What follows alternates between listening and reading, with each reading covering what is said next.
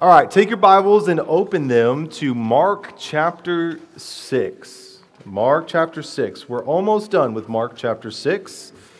And tonight we reach perhaps one of the most well known stories in all of the Gospels. Now, obviously, the feeding of the 5,000 is also very popular, but this is one of those well known stories that you often learn if you grow up in church as a little kid. This is the story of Jesus walking on the water. By show of hands, who knows the story of Jesus walking on the water? All right. This is perhaps one of the most well known stories throughout the Gospels. But what's interesting is this is the most, in my experience, the most misapplied stories in all of the Gospels. If you want a test case for how not to read the Bible, you should go online and listen to a bunch of sermons on Mark 6, 45 through 52, the story of Jesus walking on the water. You see, what happens oftentimes is when people study this text, they what's called they do what's called spiritualizing. They spiritualize the text, meaning uh, something that is meant to be a literal thing, like a boat, becomes a metaphorical thing or a figurative thing. So let me give you an example. If I was going to teach this passage, I think wrongly, I would say, hey, you guys, like Peter, you need to get out of the boat. You know what the boat represents in your life? It's those limiting beliefs. Those limiting beliefs that are holding you down, that are keeping you in the storm. You need to step out of the boat. And you need to, here's the phrase, you need to walk in the miracle. You need to walk out of the boat, out of the limiting beliefs. You need to pursue God's best for you. And you need to step out of the boat just like Peter. I, think that is a uh, wrong way to read this passage. Or perhaps uh, you would hear something like um, Jesus always wants to deliver you from the storm. Jesus could never allow, I guess, something bad to happen in your life. He is always going to deliver you from the storm. He wants to deliver you from every storm in your life, every bad thing, every hardship, every uh, financial crisis, every job loss, every heartache that you might have. Jesus is there to deliver you from it. And if you've existed for any amount of time, you know that that is not the case, even just from human experience, but also biblically speaking, that is not true. And yet, that's one of the interpretations that I have seen in this text. Or perhaps maybe you would hear something like God wants you to be able to walk on water. Now, obviously, that's also a figurative thing, meaning success. God wants you to do the impossible. He wants you to step out in faith. He wants you to, as you get older, start that business. He wants you to manifest that, that thing that you really desire. He wants you to walk on water. He wants you to have success. Now, these are just a few examples, and I don't mean to make light. Uh, I just want you to know that this is perhaps one of the most misinterpreted, misunderstood stories in all of the Bible. So, what I want to do is use this as we go along as a test case. Okay, if those are wrong ways to interpret this, what is the right way? What are some principles that we can kind of pull out for good Bible study so that we don't think a boat is any more than just a boat? I had a professor in college, he, always used to say in class, a boat is just a boat. Imagine that. A boat is just a boat. And sometimes water is just water.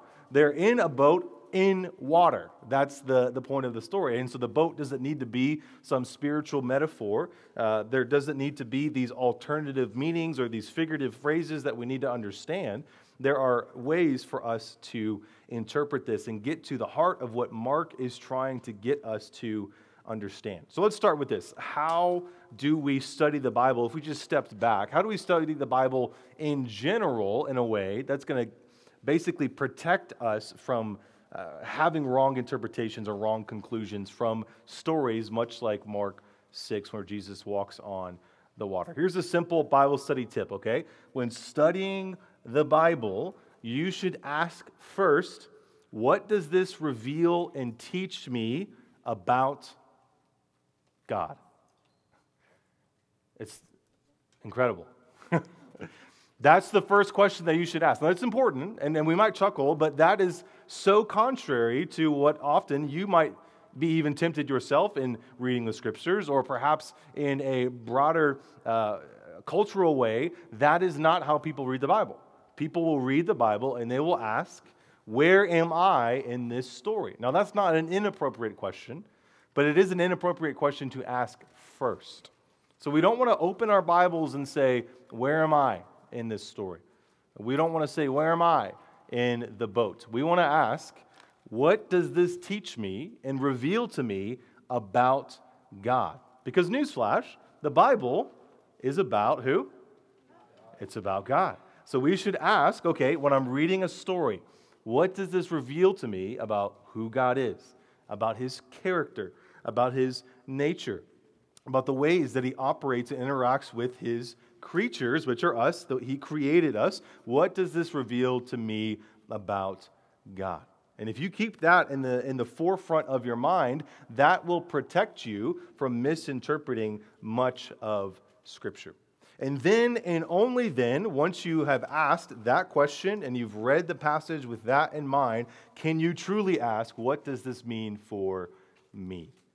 Though there's an order to that. We ask, what does this show me? What does it reveal to me about who God is? And once we've got that firmly fixed in our mind, then we ask, okay, now that I know who God is, according to this passage, according to this book, according to this verse, what does that mean for me? We always want to look for the way that we are to respond or think of ourselves in light of who God is. And perhaps if you are someone that opens the Bible often and feels confused and feels like, what does this have to do with me? How is this applicable? How is this relevant? Maybe you are going to the Bible and asking, what does this mean for me, or where do I fit in this text first? And perhaps that's why we often get confused because we try to interpret most of the Bible thinking, Where am I in this text before we ever ask, Where is God? Now, I want you to think about that tonight as we go through this story because, as I've hopefully made clear, this story is not about limiting beliefs. It's not about walking in the miracle. It's not about living your best life and overcoming storms. It's not about any of those things. Uh, it's about something else entirely. And I'll just even, I guess, uh, expose it for you here at the beginning. It's about understanding who Jesus is. This passage, and you'll see as we go along, is Jesus intentionally demonstrating for his disciples, his closest followers, who he is. The, the biblical word is revelation. Jesus is revealing who he is in a profound way, and he's doing it in a miraculous way.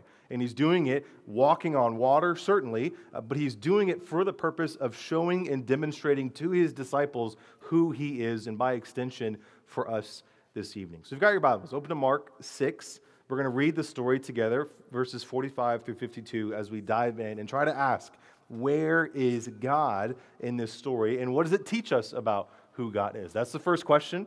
And then once we understand that, we ask, what does that mean for us in light of who God is? So let's read it together in verse 45.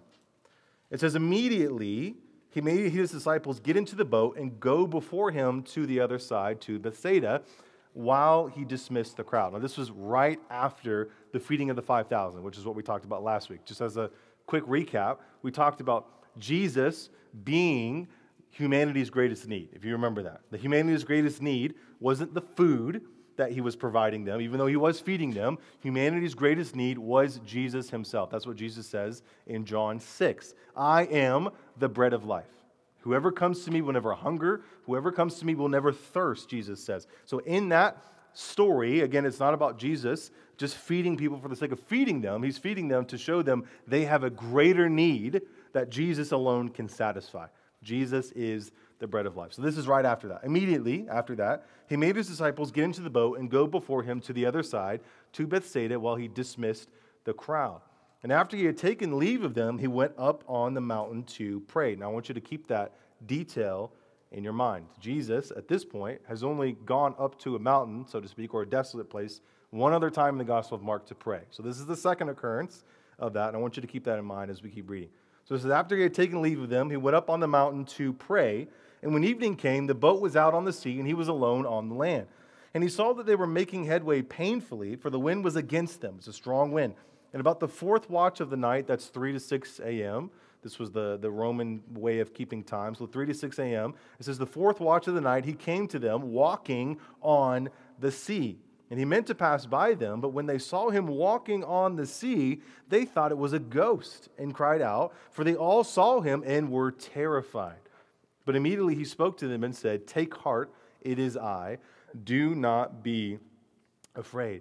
And he got into the boat with them, and the wind ceased. This is a miraculous thing. Jesus makes the wind cease, and they were utterly astounded, for they did not understand about the loaves. Now that's interesting. Keep that in mind as well, because it connects this story to what we read last week the story of Jesus feeding of the 5,000 with the bread, the loaves. He says, They did not understand about the loaves, but their hearts were hardened. Now jump back up to verse 45. I want to slow down and read it again.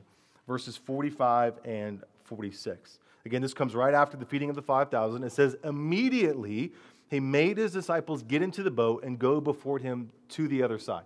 So, in the original language, this is a sense of urgency. It's like Jesus is shooing them away. He's just completed this miracle. They filled 12 baskets uh, of abundance, an overabundance of food and bread. They filled 12 baskets of leftovers. And right after that, it's like Jesus is kicking the disciples out, saying, Get out of here, go. And there, there's a sense of urgency. You need to leave quickly. That's why he says immediately. He made, his, he made his disciples get into the boat and go before him to the other side, to Bethsaida, while he dismissed the crowd. And after he had taken leave of them, he went up on the mountain to pray. So, why is Jesus in such a hurry to dismiss his disciples? Why is he shooing them away? Why? He did just something miraculous, which, by the way, his miracles are always intended uh, to demonstrate something about himself. It's a, it's a revelation. Here's who I am. Here's my power. Here's my authority. Here's my message. So, why is Jesus shooing his disciples away? Well, the Gospel of John helps us with this. It's the same account, but it's John's perspective. John 6, 14 and 15. This is right after the feeding of the 5,000. Here's what it says When the people saw the sign that he had done, this is the crowd, when they saw the sign that they had done, they said, This indeed is the prophet who is to come into the world. And perceiving then that they were about to come and take him by force to make him king, Jesus withdrew again to the mountain by himself to pray.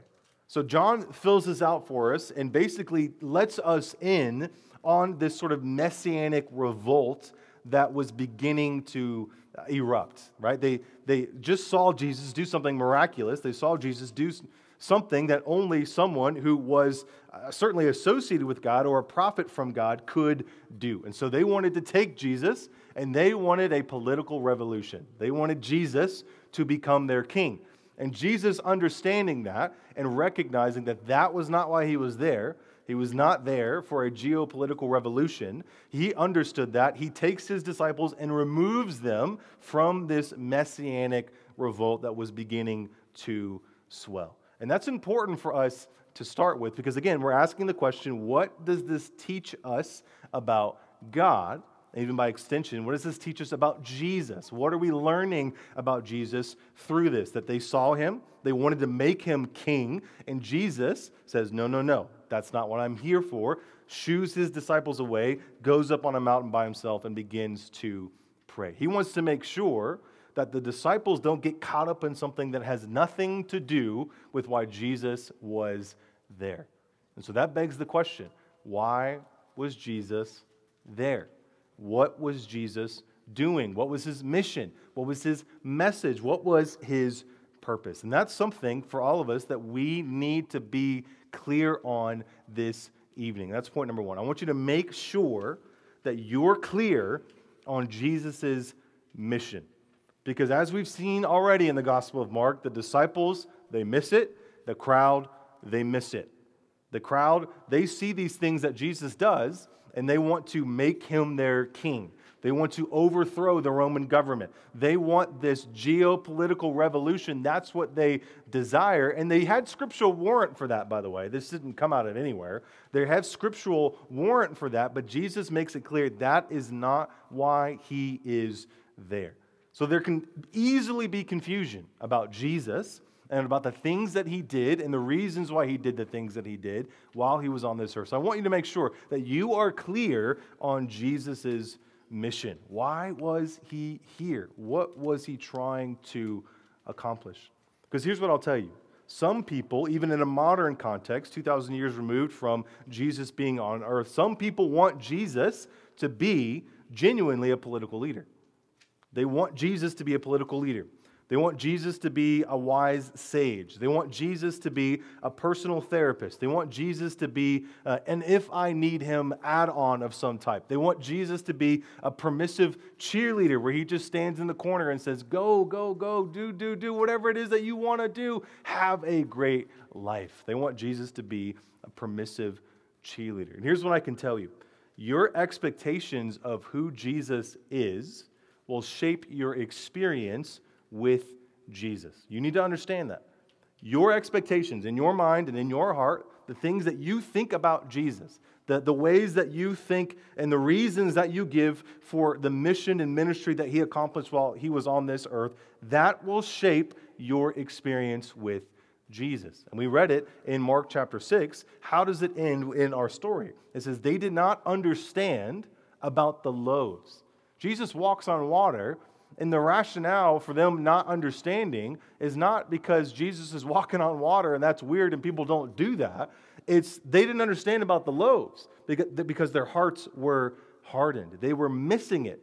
Jesus is revealing things and teaching them things, and they were missing it. Why? Because their expectations of who Jesus was were, were, were shaping their experience with Jesus. They couldn't see what was right in front of them. Now, I said I wanted you to, to take note of that reality of Jesus praying and going up on the mountain to pray by himself. So I want to go back quickly to the first time that we see that because this is important. We see again this messianic revolt sort of happening where they want to take Jesus, they want him to be king, they want to overthrow the Roman Empire, they, they want all of these things. And Jesus says, No, that's not why I'm here not at least in this moment. That's not my mission. That's not my purpose. He dismisses the disciples, puts them in a boat, shoves them off the land, and says, Go, go, go, get out of here. Then he himself dismisses the crowds and go, goes up on a mountain to pray. And the question is, why? Why is he doing that? Well, if you're in your Bibles, go to Mark chapter 1. I want you to see the first time that he did this. Mark 1, verses 35 through 39. This will help us to kind of see the pattern so far of Jesus getting away to pray and the rationale behind it. Mark 1 35 through 39. If you're there with me, it says, And rising very early in the morning, while it was still dark, Jesus departed and went out to a desolate place, and there he, what does it say? He prayed. And Simon and those who were with him searched for him, and they found him and said to him, Everyone is looking for you. Now, this is another example of Jesus going away to pray, and his disciples come to him. Simon Peter comes to him and says, Jesus, what are you doing? His expectations, again, are shaping his experience with Jesus. What are you doing? There's a sense of frustration on Peter's part. Why are you over here? There's people that are in need. There's people that need to be healed. There's people that are looking for you, he says. Everyone is looking for you, Peter says. And he said to them, Let us go on to the next towns that I may preach there also, for that is why I came out. And he went throughout all Galilee, preaching in their synagogues and casting out demons. So we have two examples of Jesus going away by himself to pray. And again, if we're good Bible readers, that's part of what we're trying to discover tonight of how to do that. We're asking why. Why is he going away? Why is he praying? Well, both in Mark chapter 1 and Mark chapter 6, the answer is quite clear. There's three primary reasons why I see in these texts Jesus is going away to pray. And the first one is fellowship with his Father. Jesus, the eternal Son of God, has always been the Son of God. The Father has always been the Father, the Son has always been the Son. And part of that is Trinitarian doctrine that can be confusing and difficult to understand. But for our purposes, you need to understand Jesus went away to pray, to have fellowship, a sense of connectedness, if you will, with his Father. And he did that purposefully in Mark 1 and in Mark 6. And the purpose behind that was for alignment and focus with his Father's purpose for him on earth. Do you see the, the, the pattern there? In chapter 1, the disciples come up to him. Peter says, Hey, what are you doing? People are looking for you, they're expecting things from you. And Jesus is off praying, aligning his focus with the Father's focus, aligning his purpose with the Father's pur- purpose. His alignment and focus is with his Father's purpose, and that's why he gets away to pray. And third, what goes along with that is Jesus goes away to pray for strength and power to complete the task that he had ahead of him, which, if you've been in church for any amount of time, you know the task that he had ahead of him was dying on the cross, was paying for our sins, was drinking the cup of God's wrath. You remember the Garden of Gethsemane? He says, If it be possible, let this cup pass from me. That, that it's an illustration of the cup of wrath that God was going to pour out on Jesus for our sins. That's what Paul says. He made him who knew no sin to become sin. So Jesus is praying to be to have fellowship with his Father, to be in alignment with his Father's purpose, and for strength and power for the task ahead. So in Mark chapter 6, we're there. Remember, we're asking why is he praying? Because there was this groundswell of this messianic revolt where people wanted to make him king. And Jesus is saying, That's not why I'm here, at least right now. And the way that you're thinking, your expectations are shaping and, and, and are clouding the ways that you're thinking about things. So Jesus gets away from the crowd and he prays to his Father for alignment, for the, the actual purpose while he was there, and for strength to accomplish it. And the purpose for why he came, I think, is summarized really, really well in John 10, verses 9 through 11. Jesus says, I am the door. If anyone enters by me, he will be saved and will go in and out and find pasture.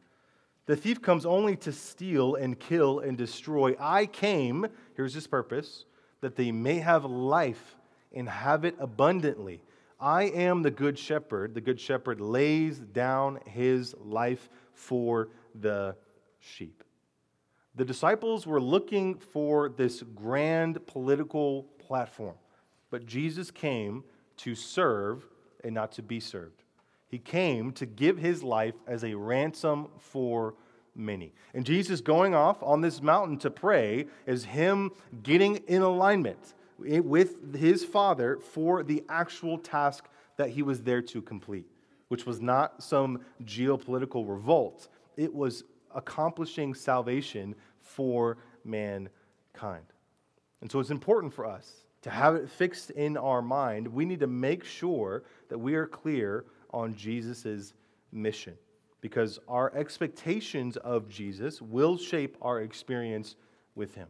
And it can lead us to frustration, it can lead us to disappointment. If you look at a, a, a, story like Mark 6, where Jesus walks on the water, and you think to yourself, Jesus is going to rescue me from every storm that I ever have, from every difficulty that I ever have, that's going to lead to disappointment, discouragement, and frustration.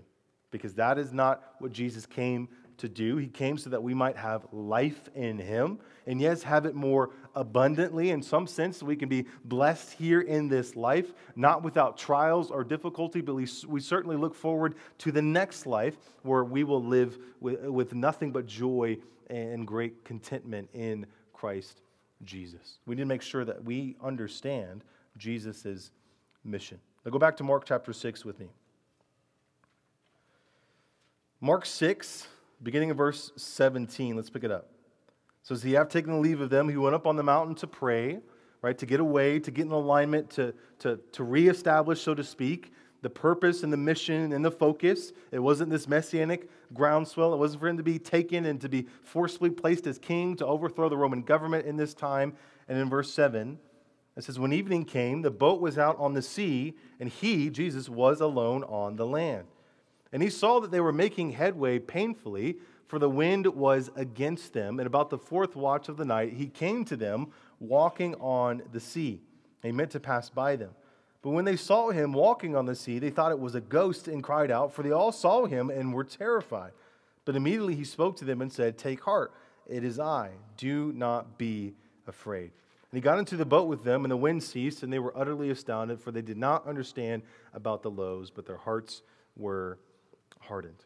Again, the question, the main question that we're asking in the text is what does this reveal to us about God? What does this teach us about Jesus? And for all of what we just read, and we'll unpack it, we'll try to go through it here uh, line by line so that we understand it. But we need to recognize, point number two, that Jesus makes the invisible God visible. That's what this story is about that Jesus is the image of the invisible God. And the way that he interacts with his disciples, the way that he teaches, the way that he heals, the miracles that he performs, all of it is to demonstrate and to showcase that he is the image of the invisible God. Now, what does that mean? The Bible makes it clear that God dwells in unapproachable light. It says that no one has seen God. That if we were to see God, if we were to look in the, the unfiltered glory of God, that we would be undone, like Isaiah says in Isaiah 6. And what Jesus does in this story and all throughout the Gospels is he makes the invisible God that dwells in unapproachable light, that is high and lifted up, he makes the invisible God visible through his ministry, through his interactions while he is on this earth. Recognize that, that Jesus makes the invisible God visible.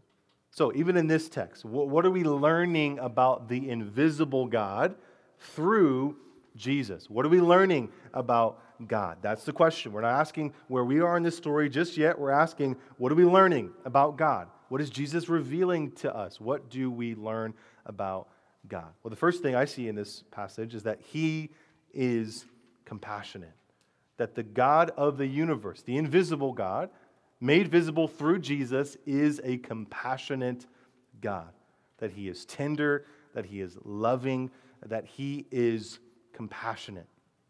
Now we see that in verses 47 through 48. Look at it with me again. It says, And when evening came, the boat was out on the sea, and he was alone on the land. And he saw that they were making headway painfully, for the wind was against them. And about the fourth watch of the night, he came to them walking on the sea. Now, I want to focus on that phrase. He saw that they were making headway painfully. Because again, if we're not astute Bible readers, we're going to pass over that. That seems like common language to us. But if you're a good Bible reader, here's another tip. You should be asking as you're reading, Am I seeing repeated words or phrases? Because if you are, that's an indicator that something is being communicated in an important way. So, where have we seen the phrase, and he saw before, that communicated passion? Or, uh, compassion. Well, just back up to verse 34 in Mark 6, and here's what it says when he went ashore, here's what it says he saw a great crowd. And here's the connection he had compassion on them. So Jesus is on the land. He's praying, he's communing with his Father, and he looks out onto the sea and he sees somehow, it's dark, we don't know how he sees, supernatural probably. He sees his disciples. And that's not just some detail about him seeing them from afar, it's communicating that he sees them in their distress battling against the winds, and he has compassion on them. Why? Because God is a compassionate God. Just like in Mark 6 34, it says, When he saw the crowd, he had compassion on them. They were like sheep without a shepherd. Now he sees his disciples in the boat out on the sea, fighting against the winds, being blown back to the south side of the Sea of the Galilee, and he has compassion on them because he cares for them. He loves them. That is what we learn about our God, that he is compassionate. The second thing that, we learn, which is perhaps most obvious in this story, is that God is powerful, that He is all powerful. He has control over the spiritual and the physical. He has control over life itself, over every aspect of creation. He is powerful. And this is demonstrated by Jesus walking on the sea and making the winds cease. In fact, in verse 48, after he sees them and has compassion on them, It says, About the fourth watch, when he saw them, he began, he came to them walking on the sea. He meant to pass by them, but when he saw them, he was walking on the sea. Literally, walking on water, which, as you know, I've tried it. It doesn't work. We've all tried it, right? At the pool, we've all tried to see how far we can get. It doesn't happen. We're all Peter drowning in the water, all right? But Jesus is walking on the water. Remember, the wind's blowing. So picture this waves are high, the disciples are being tossed like a little tiny sailboat in, in an ocean. I mean, that's what's happening. They're being tossed to and fro by the winds. Jesus just cruising, walking on the water. And then it says he gets into the boat in verse 51 and the wind ceased. And what's incredible about this story is that in Mark 4, he rebukes the wind and it ceases. In this, he says nothing and the wind stops. Now, here's the point God is powerful, He has control over all things. And here's another question Did you know that in the Old Testament, that God, the one that dwells in unapproachable light, the invisible God that no one has seen, right, that God is referred to as walking on water. I don't know if you knew that. But in the Old Testament, the the biblical writers refer to God as walking on water. Now, not in a literal sense, though Jesus did. In the Old Testament, they're basically just trying to communicate that who has the power to do something so incredible, to do something uh, so uh, rule breaking in terms of uh, science or uh, physics or whatever you might say. Who has the power to do things that you cannot do? That's the point. It's God and God alone. In fact, in Psalm 77, verse 19, it says, Your way was through the sea, your path through the great waters, yet your footprints were unseen. God is so powerful that he walks on water. Job chapter 9, verse 8 says, Who alone stretched out the heavens and trampled the waves of the sea? The question is rhetorical. It's meant to be no one can do that but God. Job 38, 16. Have you entered into the springs of the sea or walked in the recesses of the deep like God has? Again and again and again, what we learn is that God is powerful. And that Jesus, demonstrating and revealing who God is, is showing us that God is compassionate and that God is powerful.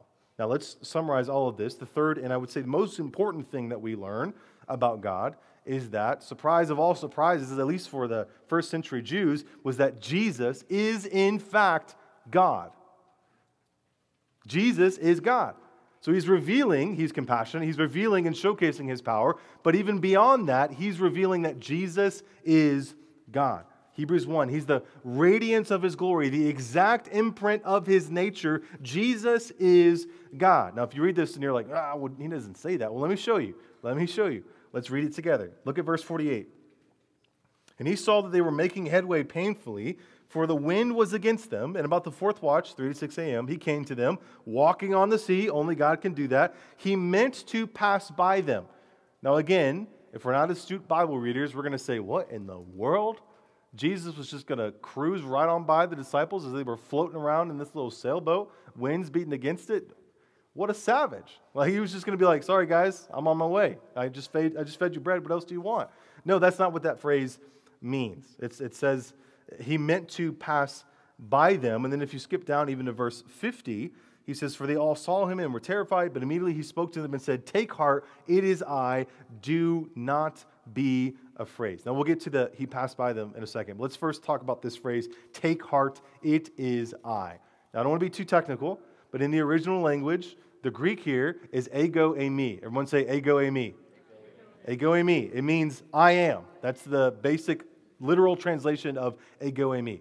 So what is Jesus is saying here is that he is the great I am. As he's walking on the water, he says, Take heart, don't fear, be calm. There's no reason to be afraid. Why? Because I am. I am the great I am. Now, where do we get that? Exodus 3, verse 14. God said to Moses, God, the invisible God who dwells in unapproachable light, here's what he says I am who I am. And he said, Say this to your people of Israel I am has sent you. So Jesus walking on water, he goes up to them. He says, Ego eimi. He says, I am. He's saying, I am the invisible God in flesh.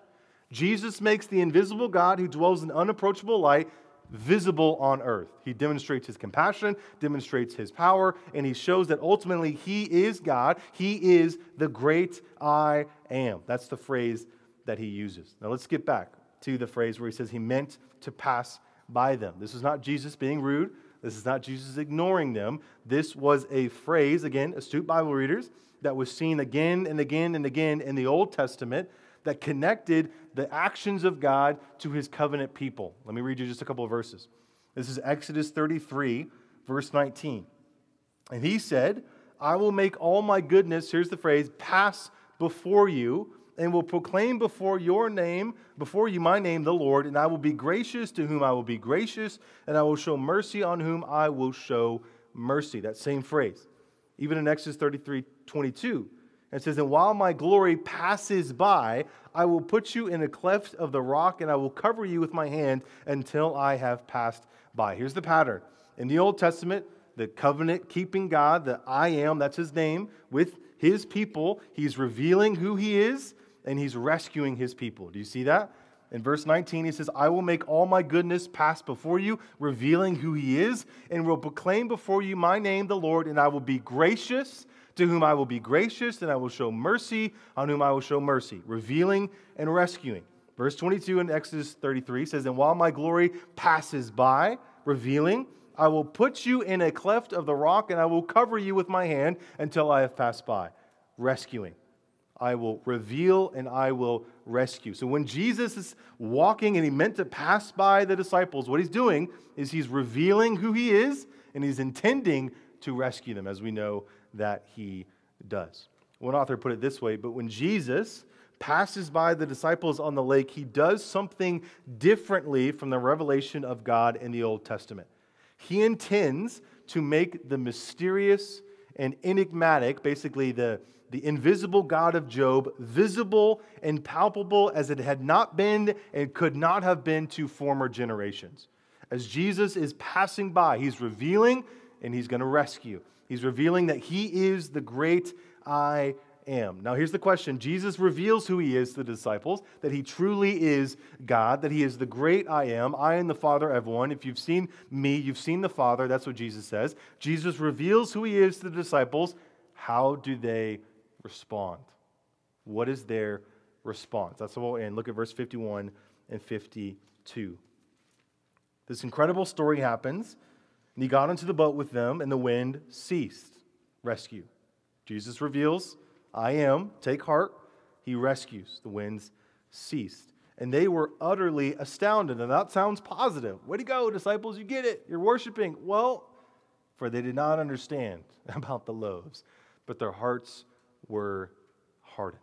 Now, just even another interesting thing, I thought about this earlier today. When we started chapter 6, which was forever ago, Jesus came to his own town, Nazareth, and was rejected by his own people. They didn't understand who he was. They didn't understand his message. They didn't understand anything about him. Now we've got his disciples. They've spent time with him. They've seen his miracles. They've been around the campfire with him. And this chapter basically bookends with his own disciples, his own people in Nazareth. They don't understand. They reject. His own disciples, they don't understand who he is because his, their hearts are hardened.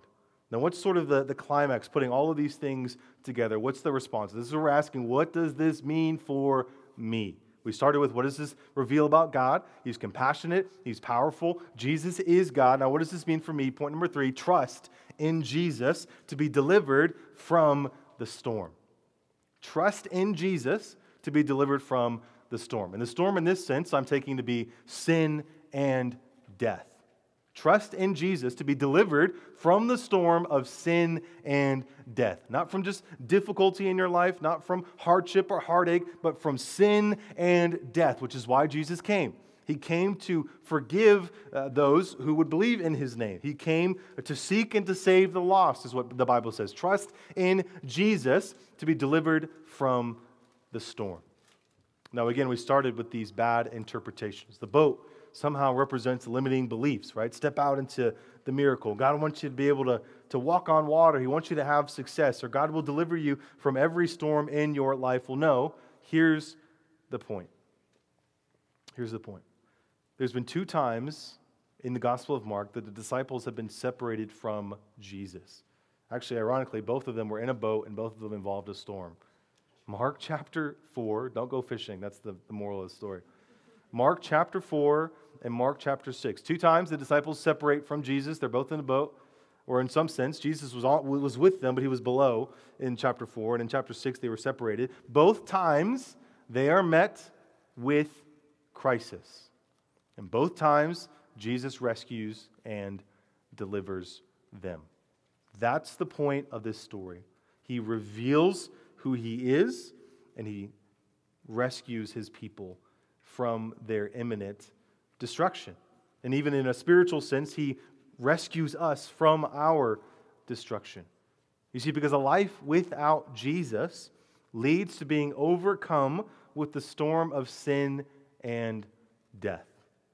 And only when Jesus, and only with Jesus, can you find safety, security, and deliverance.